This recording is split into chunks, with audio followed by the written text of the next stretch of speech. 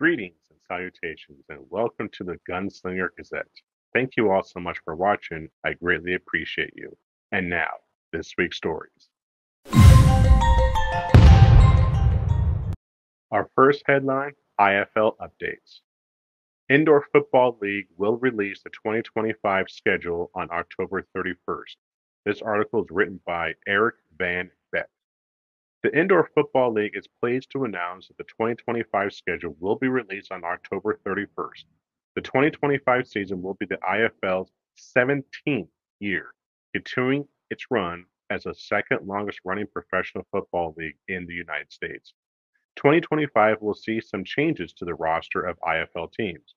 The Fishers Freight, Fishers, Indiana, will be joining the league under exceptional ownership in the football hungry top 25 media market of Indianapolis.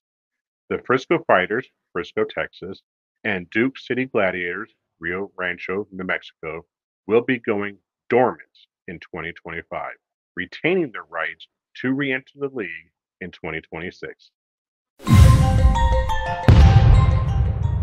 Our next headline Deputy Update. The Gunslingers have added the following personnel running back C.J. Odom, linebacker Matt Barrett, and defensive end Dana Shoulders.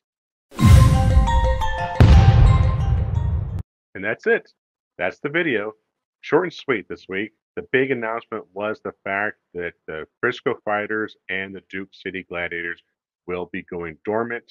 Well, if you found this video to be informative and entertaining, please let me know by hitting that like button below. And if you haven't done so already, please consider subscribing to this channel. I greatly appreciate it. Well, I think it's time for this deputy to ride off into the sunset.